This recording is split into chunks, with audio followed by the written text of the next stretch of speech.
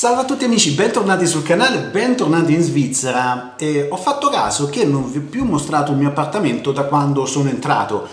L'ho finito da arredare, nel senso ho messo dentro le cose che ritengo fondamentali, poi tutto il resto ragazzi o non ha importanza quindi non lo metterò mai, oppure piano piano quando trovo qualcosa che mi interessa, per esempio l'appendo al muro. Allora, iniziamo con questo room tour. Allora, questa è la porta d'ingresso, per ricordarmi di prendere il pranzo ho sempre questo foglietto e funziona.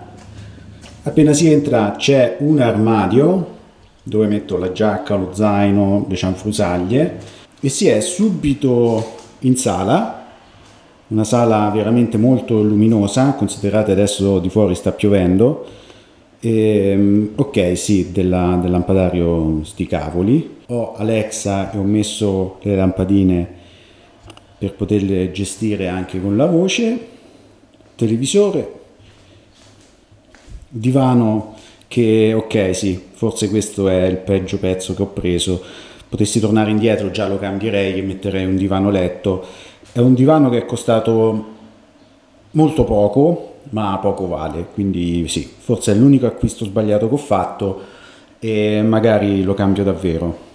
L'ultimo acquisto è stata questa scarpiera che uso anche come eh, svuota tasche, mobiletto della televisione che ho dovuto già riparare perché si era scollata una gamba.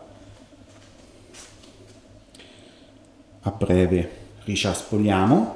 C'è il cuore della, dell'appartamento, questa è la scrivania che ho portato dall'Italia, alla quale sono molto affezionato, anche perché è stato un regalo e sì, questo è anche il posto di lavoro del mio montatore dei video, al momento non è eh, a casa, non sta lavorando quel pigrone, e da una parte meglio così perché avete visto è un po' scorbutico. C'è sempre Alexa che mi tiene compagnia e il maestro Yoda. Ok, c'è questo tavolo che lo uso come prolunga della scrivania per fare i video perché non ci ho mangiato mai a parte quando ho fatto quei video che vi ricordate del raclette o della fondue. Ok, allora sto utilizzando la Sony quindi ragazzi non è stabilizzata. In cucina entriamo abbiamo questi tre secchi che sono il cartone, le lattine e il vetro. Manca il PET, ma il PET lo faccio talmente poco che quando ce l'ho lo vado subito a buttare nei supermercati, non è un problema. La cucina che è la parte che viene consegnata insieme all'appartamento perché in genere negli appartamenti la cucina c'è sempre. Ho avuto la fortuna che questo appartamento è stato completamente ristrutturato e hanno messo anche questa cucina nuova con eh, i mobili nuovi e tutto quanto. Quindi è veramente veramente bella e comoda. Ha il, il piano in eh, io penso che sia granito peccato per il colore che lascia un pochino le impronte molto lucido sto facendo la pizza per stasera. Se mi seguite su Instagram avete visto anche la ricetta. Quattro piani non a induzione sono ceramica. E il forno comunque dai è una cucina veramente veramente veramente bella.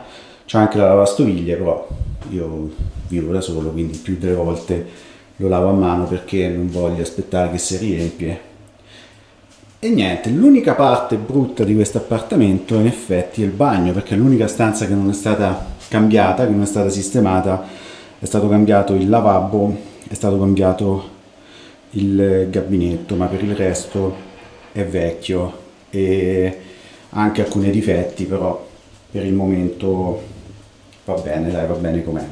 Non mi soffermo troppo qui, voglio mostrare anche qui ragazzi, ho il pallino, ho Alexa per quando faccio la doccia, ascolto la musica e si va in camera da letto. La luce che un pochino si vede che sfarfalla, c'è un po' di sfarfallio.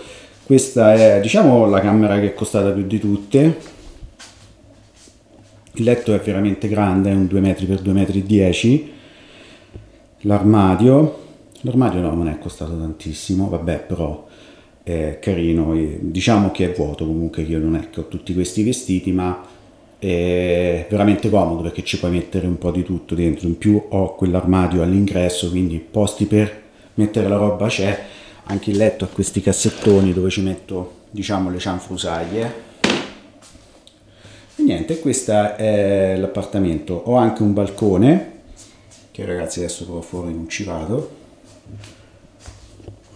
E diciamo che per me da solo questo appartamento è anche troppo grande. E ne è passato di tempo quando ancora ero seduto per terra lì in quell'angolo e ero felice perché avevo ottenuto l'appartamento. Come sapete si viene scelti ehm, tra i vari candidati che sono interessati all'appartamento chi è più adatto viene selezionato. È una cosa un pochino brutta, è per questo che per prendere un appartamento qui in Svizzera bisogna un pochino faticare, bisogna vederne veramente tanti. Per me è andata bene, l'ho ottenuta anche abbastanza velocemente, grazie e per fortuna del lavoro all'ospedale e, e, niente, cos'è che mi piace? Mi piace che è grande, anche troppo grande come ho detto, è tutto nuovo, è tutto in ordine, anche per il fatto della lavastrice che è di sotto in condiviso col condominio non è poi un così grande problema, ho un giorno a settimana che posso scegliere per lavare i miei vestiti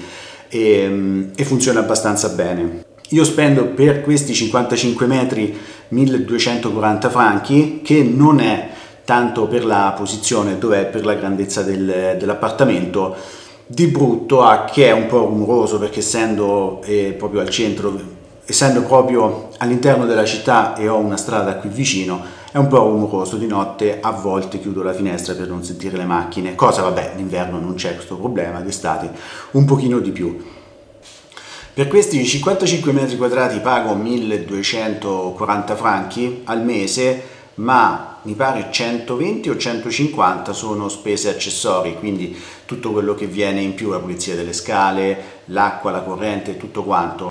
E poi alla fine dell'anno vengono fatti i conti in caso o devi pagare un qualcosa in più oppure ti restituiscono addirittura i soldi. Sicuramente per risparmiare sarebbe stato più logico prendere un monolocale o come lo chiamano qui studio, sì perché sono degli studi, sono concepiti per lavorarci ma invece i stranieri ci vanno a vivere, però in proporzione costa più di dai 700 ai 900 franchi non so quanto sarebbe convenuto e anche le metrature sono veramente basse nel senso sono 22-28 metri. Non ci avrei messo assolutamente tutto quanto avrei dovuto dormire su un divano letto. Insomma eh, se dovevo stare qui un paio d'anni ok va benissimo non avrei avuto nessun problema ma per viverci e avere una qualità della vita decente insomma via Bisogna anche dire che un due stanze e mezzo come questo eh, costa tanto in proporzione, per esempio un 4 stanze e mezzo, un 5 stanze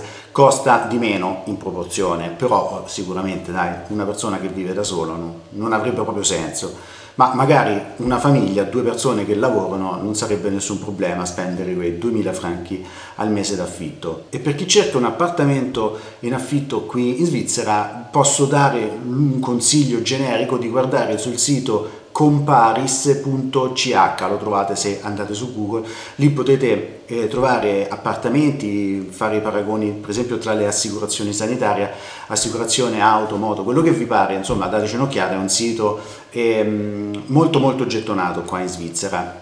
Per il momento non ho intenzione neanche di attaccare niente alle pareti, potrei ovviamente stampare una delle mie foto e metterle, che ne so, su tela o altro per poterla appendere e, ehm, carino sarebbe per esempio attaccare le compostela dei cammini di Santiago, e, però vabbè mi lascio del tempo, sono entrato da non tanto, da febbraio qui dentro. E va bene ragazzi, questo è stato il mio room tour, se avete dei consigli, se avete delle domande da farmi scrivetelo sotto nei commenti, se volete seguirmi e vedere quotidianamente quello che faccio e le mie disavventure seguitemi su Instagram il link è nella descrizione del video.